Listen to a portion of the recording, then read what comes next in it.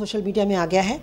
अब, अभी भी अगर सरकार उसको टाइमली दे दे तो बहुत अच्छी बात है, क्योंकि ये नहीं करना चाहिए कि खिलाड़ी से बदला लेना है, क्योंकि उसने सोशल मीडिया में डाल दिया तो अब उसको नहीं देंगे। ऐसा नहीं करना चाहिए, क्योंकि जब नहीं हुए थे ओलंपिक्स उस समय तो आपने पंद्रह लाख, पाँच लाख, दस लाख, पचास लाख अनाउंस कर दिया।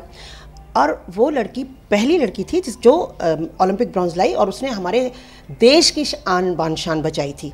तो ऐसी को तो एक महीने के अंदर दे देना चाहिए था। एक महीना भी क्यों लेट किया? यहाँ तो साल होने जा रहा है। तो वो नुकसान कौन भरेगा? जो एक साल तक अगर उसके पंद्रह लाख थे, बीस लाख थे, पचास लाख थे, जितने भी थे, अगर उसको वो एफडी करती तो भी इंटरेस्ट आता। तो अब तो विद इंटरेस्ट देना चाहिए।